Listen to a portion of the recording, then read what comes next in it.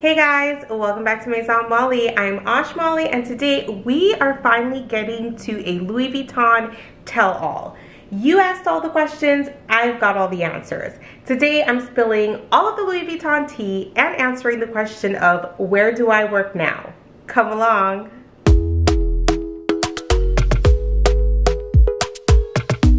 Of course, guys, don't forget to like, comment, and subscribe down below. You guys can always find me over on Instagram where I make daily videos. If that's something you're interested in, you can find me right here. Let's answer all of those LV questions. Alrighty guys, so I've got my iced coffee, I've got my phone, and I'm ready to go. Last week here on YouTube, under my community tab, on that post I requested that you guys share with me any Louis Vuitton questions that you may have as I would be doing this video, a Louis Vuitton tell-all. I must say thank you guys so much for submitting all of your questions. I have so many questions between here on YouTube and on Instagram, so I'm actually thinking about doing this video in two parts. We'll answer all the questions that we can today. So if you didn't get the opportunity to submit your question, you can still go ahead on my community tab and share your question with me in hopes for it being featured in part two of this video. Alrighty, so the first question I have is from Jovi. Thank you, Jovi. Jovi's question says, does LV hold merchandise, especially monogram unicorn pieces, before a price increase? I can say they really do not. Um, they let us know when the price increases are going to be. And honestly, if we're cool enough with our clients, we'll probably contact you and be like, hey, just so you know, there's going to be a price increase. So if you want this item, you should come in and get it. It's not really a practice to hold the pieces in order to get more money for it at a later date. Second part to her question was, do SAs get upset if you just want to go see the items and not buy? Would you just recommend to shop online in order to actually see the item without being judged or pressured to get something? So first part of her question, do SAs get upset if you just go to look at items and not buy? Not really, but you do have to be conservative about it. I always say think of it like this is someone's livelihood and especially at Louis Vuitton, the, the associates aren't making a lot on commission, so it's really about getting those sales in. So I would be conservative with their time. Um, I know when I worked there, I didn't have a problem showing anybody anything. But if you know that you don't have the intention to buy, maybe not stay for like an hour looking at bags and then just be like, okay, thanks, bye. You know, go in 10, 15 minutes, ask for the styles that you want to see, try them on. I truly think that no one will be annoyed by that. We're typically used to people coming in, trying things on and not always buying. Every client isn't going to buy. Um, so don't feel intimidated about going in to try on just do be conscious of their time. The second part was, would you just recommend to shop online in order to actually see the items without being judged or pressured to get something? I would say a good idea is pre-shop online. So go online, see the styles that you like, write them down so that when you go in, it's not like, because going in can be quite overwhelming. The bags are all displayed on the wall. There's so many to look at. So I think if you look online, get, you know, three, four, five bags that you want to see, go in and say, hey, I would like to see the Neverfull, the Speedy, so on and so forth. If you seem organized, you know what it is that you want to see, they would be more than happy to share it with you. I think that online can be a little sketch only because if you've never seen the pieces, once you get it, you may not like it, then you have to return and then it's this whole debacle. So I always say pre-shop online, go with a couple that you love and try it out in store.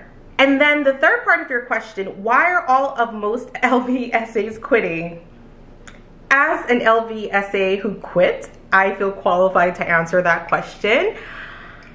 Uh, I mean, it's just not a great brand to work for. It's sad because it's the biggest luxury brand out there. LVMH made something of 40 something billion dollars last year and they're giving their advisors a dollar for a Neverfull. So I just don't think that they value the advisor's time, the advisor's um, quality of life, the advisor's livelihood, and people are realizing that and moving on to these other luxury brands which may not be as prestigious as Louis Vuitton, but are definitely paying way better than they are. This next question is from CM319. She says, are bags made in the US of lesser quality than ones made in Italy, Spain, or France? So No, they are not. And this was one of my biggest pet peeves while I was there because clients would come in requesting these made in France bags. And I'm like, honey, we don't got it. Louis Vuitton is such a big conglomerate that in the US, there's a workshop here. In France, there's a workshop there. In Italy, there's a workshop there. A lot of countries now have their own workshops. The artisans are all trained in France. Um, they're all trained the same way. The materials are imported from France. So the quality is the same across the board. So I'm telling you now as an ex-Louis Vuitton client advisor, where the bag is made does not matter. There's plenty of times I've had clients come in with bags that they bought while they were in Europe and they were the same problems. They were cracking, they were fraying, broken zippers. The problems are the same across the board because the canvas that LV is using is the same across the board. Alrighty, the next question is gonna be from Danny. Danny says, Hi Ashmali, what does LV do with items returned due to a quality issue? Example, crooked stitching, crooked zip. Do they resell them to another customer? So if an item is deemed defective, so there's something visibly wrong with it, we defect the bag out, we put it in the system as a defective bag and it gets sent back to the warehouse. I know you guys have heard this. Some bags actually do get burned. It's sad to say, but they do. Um, but no, LV is not selling these bags back to clients. So for example, there's never been a time in the seven years that I worked there where we took back a bag that had like a crooked zipper and put it back in the drawer to sell it to another person. Like, no, that doesn't happen. I will say though that no shade to all of y'all, but some clients are a little paranoid and they will bring a bag in and say, do you like right there, right there? Do you see that, I don't know, spot? And I'm looking and I'm like, mm, I don't we will return that bag. We will return it under a regular, you know, code.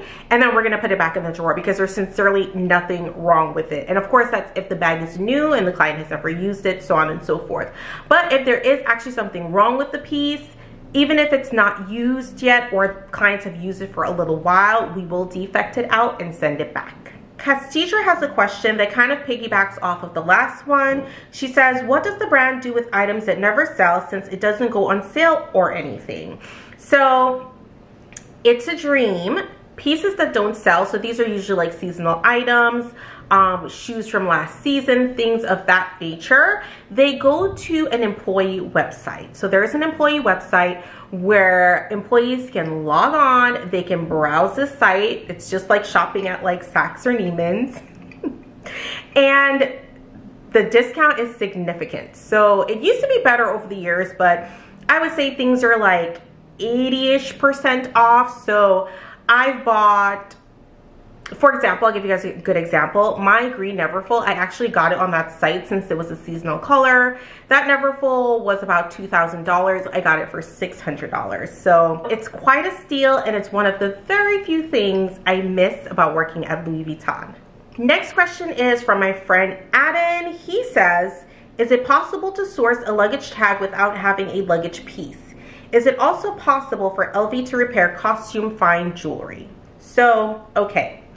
In regards to the luggage tag, quite some time ago, yes, Louis Vuitton would just let you buy a luggage tag as a spare part. But of course, as any system, people started to abuse it. And so there were never any luggage spare parts anymore. This created the problem for clients who actually had the piece. So for example, someone who actually has a Keepall on their profile they would come in and say, hey, I've lost my luggage tag for my Keepall. May I have another one? And we would not have them. And they would be sold out for months because so many people were buying them to put them on their Neverfulls or their Speedies. So Louis Vuitton made a rule that if someone wanted a luggage tag, they had to have that piece under their profile. So if you came in and asked for a luggage tag, I would then have to look at your profile and make sure that you actually have a piece that has a luggage tag, such as a Keepall. If you do not, then unfortunately, we would no longer be able to sell you that luggage tag. Similar question from Lori. Does LV sell the pouch for the Neverfulls separately? No, they do not if you do not have a Neverfull. So if you have a Neverfull and you go in and you say, hey, I lost my pouch for my Neverfull, yes, they will sell you a replacement part for it. But if you do not have a Neverfull under your profile, then they will not do so. All right, so this is a really good question. It's from Melanie. And it says, does LV red flag you if you return online returns to the boutique? Or if you buy in the store and discover at home this handbag is the wrong slash color style for you? What is considered excessive? Okay, so, uh, no, they do not red flag it. Um, LV does allow returns of online purchases to in-store. They try to make it as convenient for the clients as possible, so you never have to worry about that. Don't worry about that. Um, the problem is when it becomes excessive.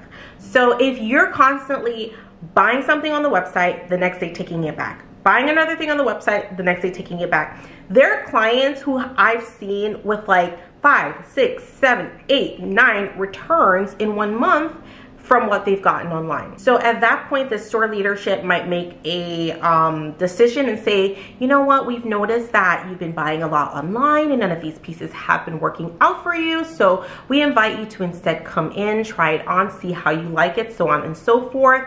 Or they might give you an alternate option and say, we can offer to send this back to the website for you because keep in mind the store is taking the hit for these purchases that you're making online and it always sucks because like sometimes we wouldn't make our day because we'd have so many online returns, which is completely out of our control, you know? And then that messes with the bonuses, the commissions. It's it's a whole it's a whole thing. So um, yes, try to be conservative with your online returns.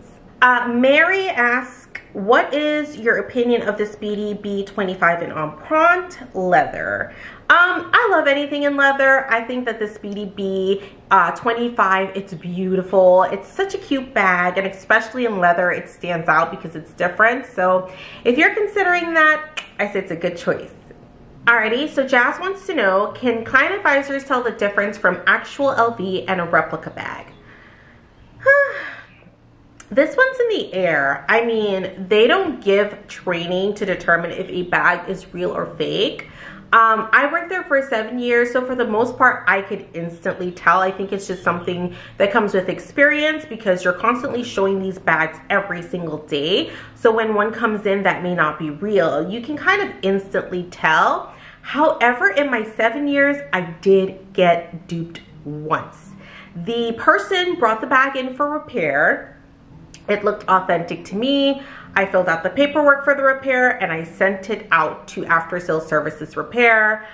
Maybe a week or two later, they sent back a note saying that this was not, not an authentic piece and they wouldn't be able to repair it. And can I tell you, I was so shocked. Like, I couldn't believe that got past me. So of course we had to call that client in and give them their bag back. Now, this is a really sticky situation because we're not allowed to tell people that their bag is fake, right? So whenever clients would come in for a repair or anything like that and their bag wasn't real, we would discreetly take them to the side because you know, you don't really want to embarrass anyone and you don't know what their situation is. And we would say, so I'm sorry to inform you, but this bag is not a part of our collection. And some people would look at us like, what does that mean? And you would just repeat it over and over again. Like, I'm so sorry, the bag is not a part of our collection. And if they're not getting it, then you would say, let me pull out the same bag and show it to you. So if it's like a Neverfull, you would go get another Neverfull and give it to them and like have them compare it and see like how obviously it wasn't real. Um, but that was always difficult. Um, yeah, once I had this lady bring in a Neverfull that she got and her mother-in-law told her that she had bought it in Paris for her and it was fake. Um, I feel like we could do a whole story time on the crazy stories I have from Louis Vuitton, but yes, to sum up the answer to that question, we can mostly tell if it's fake if it happens to slip by us though, it does go back to workshop and they definitely can tell if it's fake or not. So pro tip as well, if you've got a bag and you don't know if it's fake or not, just go in and say you want to get a repair and they kind of like have to tell you that it's fake. You know what I mean? If you just go in and you say, hey, is my bag real or fake? They'll say, we're so sorry we don't authenticate and they'll leave it at that. But if you say you want to repair it, they don't want to take it in for repair because they know it's not real. So that's when they'll tell you it's not a part of the collection. All right, we're moving along. My iced coffee is almost done. To the last question for this video. I get it all the time. I'm gonna answer this exactly how the person wrote it. So this question is from Hillary and she says, not totally related, but really interested to know where you work now. If you're still in the luxury world, how does it compare to working at LV? So,